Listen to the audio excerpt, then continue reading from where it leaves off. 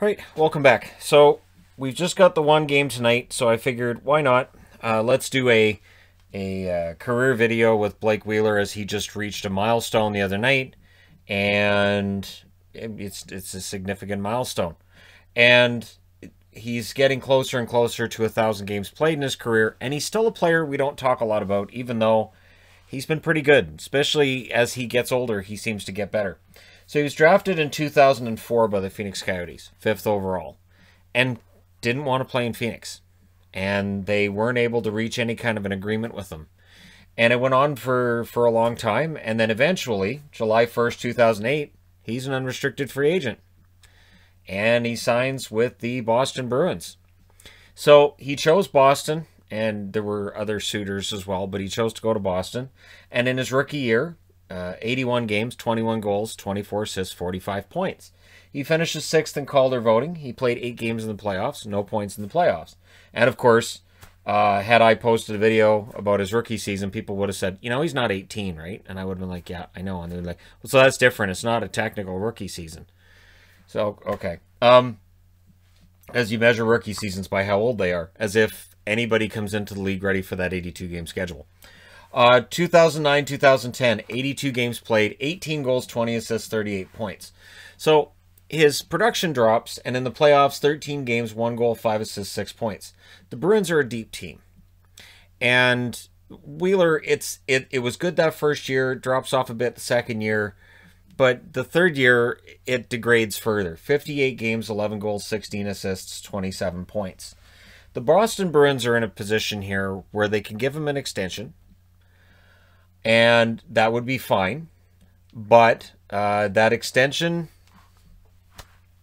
uh, it, it, depends on, on numbers, and maybe his numbers don't agree. So they just they they trade him.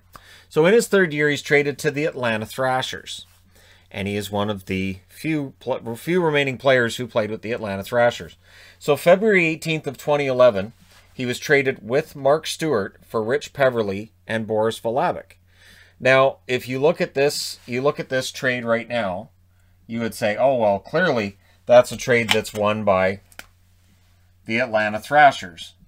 And yes, he had 17 points, 7 goals, 10 assists in 23 games for the Atlanta Thrashers after the trade. I counter with this. Wheeler has excelled since leaving Boston. I'm not convinced he would have excelled if he'd stayed in Boston. I, I think that with Boston's depth, I mean, it's it's not like they've been a, a mediocre team since then, right? So I think with Boston's depth, I, I think he he could have had further struggles. I still think he would end up being traded anyways. So he goes to Atlanta, and then in the offseason, they end up getting transferred to Winnipeg. So he goes from being a Thrasher to being a Jet. His first year in Winnipeg, 80 games played, 17 goals, 47 assists, 64 points.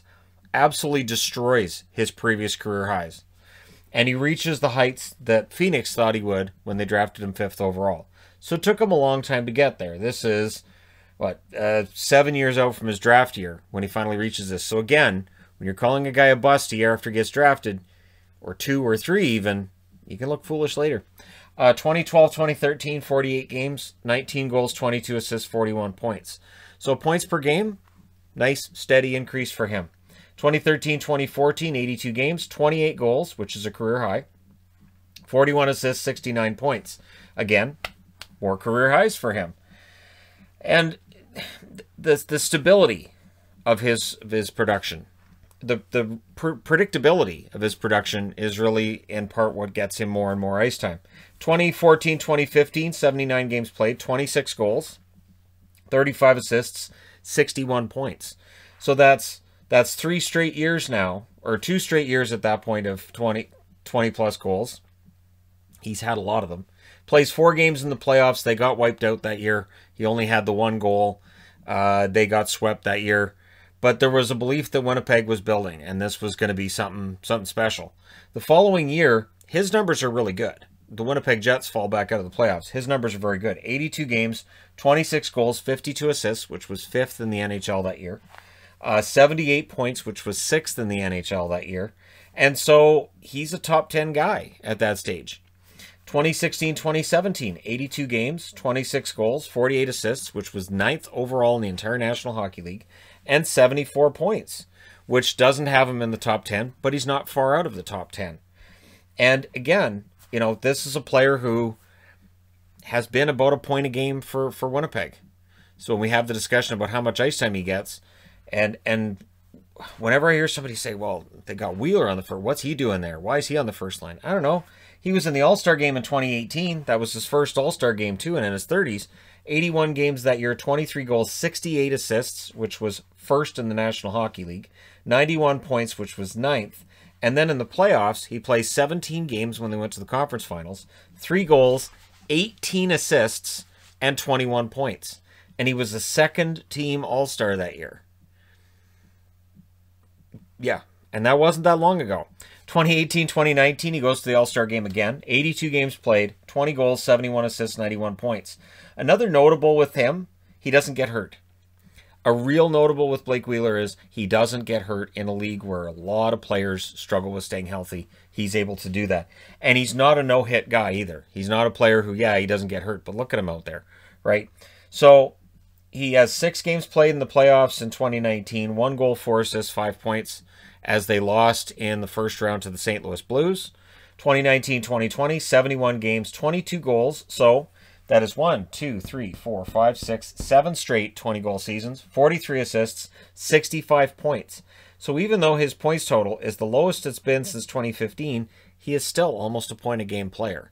And in the playoffs against Calgary, he plays all four games. He only gets the one assist. It doesn't help when Scheifele and Laine are hurt immediately in that series. That series was just it was it was not a fair matchup. So this season, so far, he's played six games. At the time I'm recording this, he's played six games. Three goals, five assists, eight points. So even though we're only supposed to have a 56 game season, he is on pace right now for at least 20 goals.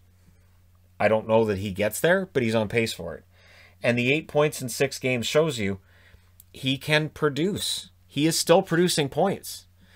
And so uh, as he's hit 500 assists now. He's played 937 games, 267 goals, 502 assists, 769 points. 52 games played in the playoffs, 6 goals, 28 assists, 34 points. So his playoff totals are low. Regular season totals are really nice. He should be able to get to 800 points by the time this season's done.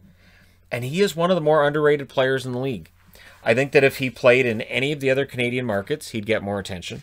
I think if he played in some of the bigger U.S. markets like New York, Chicago, uh, Detroit, L.A., some of the well, not L.A. necessarily. I know the California teams they can get overlooked, but and you know an original six franchise. If he had been able to do this in Boston, he he would have been revered by Boston faithful.